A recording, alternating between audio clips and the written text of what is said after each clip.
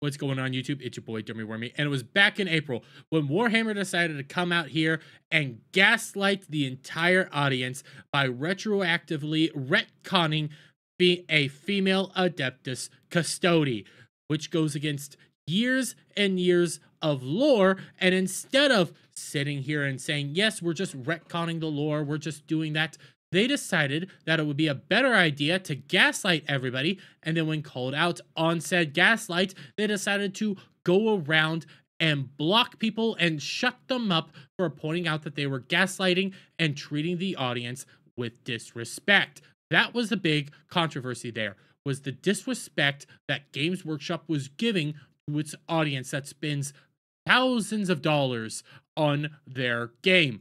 Then they decided to double down on this action. Games Workshop and Warhammer doubles down on inclusivity virtue signal, then deletes it. That's right. Then it decided to come out here and put out this mega, mega post with all this stuff, uh, continuing to push, you know, inclusivity and diversity and stuff like that, and then edits it out and changes it up to uh, something completely different because they they were purposely antagonizing the audience and then running away. That's what was going on there.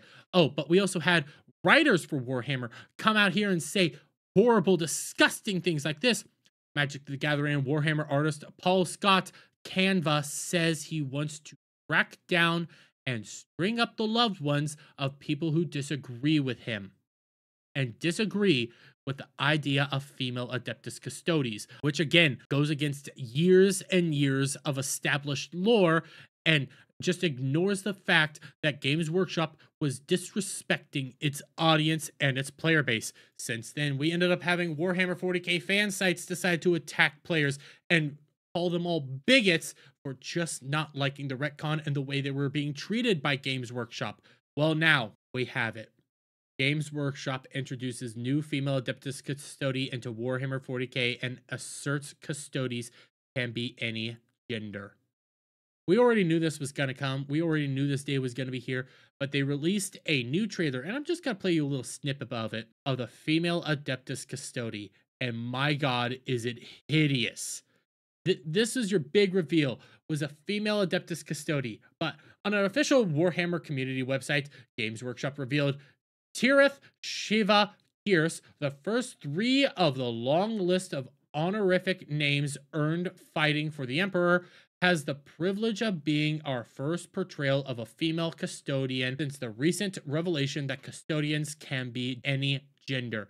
The company added, This fact came as a real surprise to many since it wasn't something previously explored. That, in and of itself, isn't a particularly unusual thing for Warhammer 40k and its lore. There are simply loads of things the Warhammer studios have never expressly stated, whether that's ruling them in or out. And that's fine, okay? I know your guys' lore is very loopy doopy and things like that. It's very crazy and all kinds of weird. But guess what? You had Sisters of Silence you could have built upon. Yeah, you have a bunch of people over there. Why, why didn't you build upon them? They're essentially the female versions of the Adeptus Custodes. They have their own pluses. They have their own benefits over there. Why don't you build on the Sisters of Silence? Oh, because you don't want to. Because you wanted the Adeptus Custodes. You wanted to make a guard for the Imperium, the guard for the Emperor himself, a female, and then retcon it in instead of actually working with the lore you already have and building up a Sisters of Silence.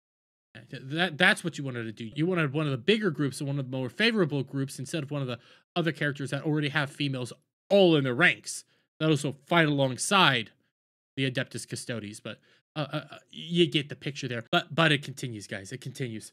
From there, Warhammer continued to justify the massive retcon and gaslighting its enthusiasts and hobbyists since the earliest conversations about bringing in Horus heresy to the tabletop and Black Library fiction.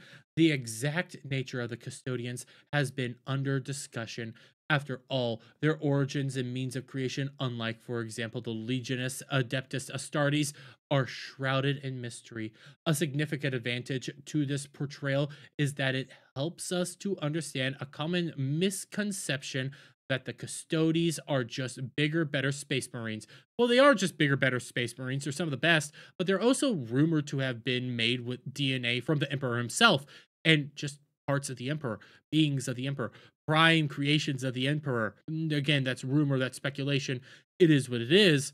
that is what they thought it was for the longest time until now when you guys decided to gaslight and treat your audience like garbage.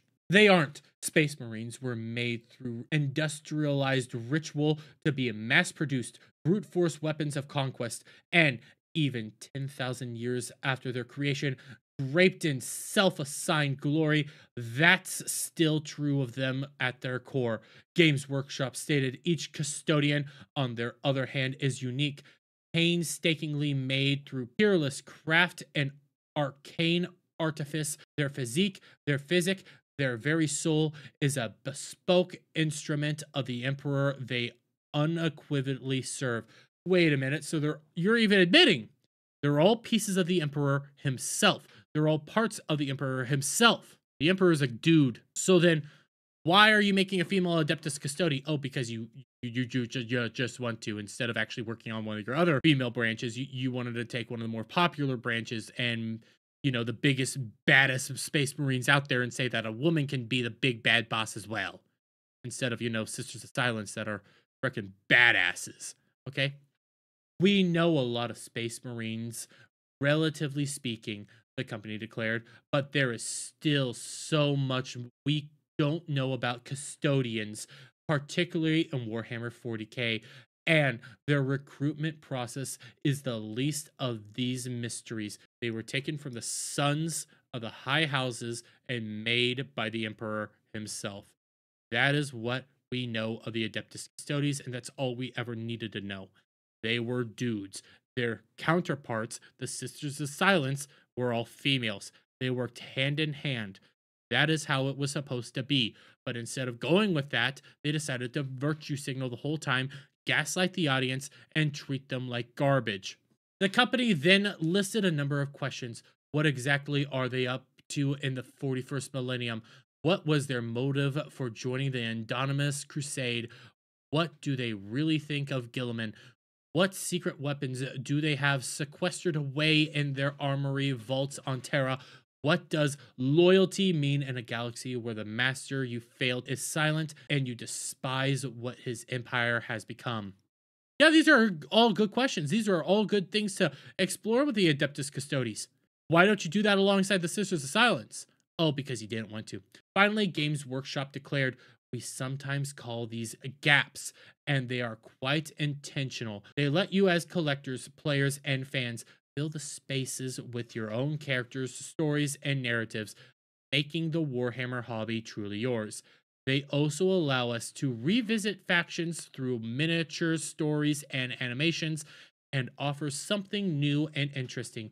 Imagine how sad it would be if we ever said, and that's it, that's everything you'll ever see in this army. No new models ever. That'd be rubbish, the company concluded. That's fine. Go in there and play around. You allowed the lore to do that. But you have frameworks of the lore. You have things that the lore is already based around. And yeah, the lore's all made that, hey, this could be this, this could be that. You don't know for sure. That's how the lore was crafted. Heck, we didn't know for sure, honestly, if there was a female Adeptus Custodi, but now we're confirming it. We're making it a thing. We're saying, yes, it was a thing. Yes, there are female Adeptus Custodes. And here she is. Here we go, guys. Here's your new female character, Warhammer Bros.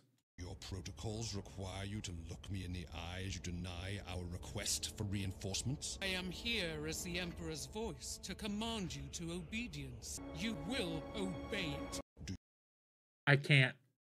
I can't. I can't look at that with a straight face. It, it is 100% ma'am. It is 100% ma'am right here. We we just have to play this last little bit. You will obey it. Do your pro.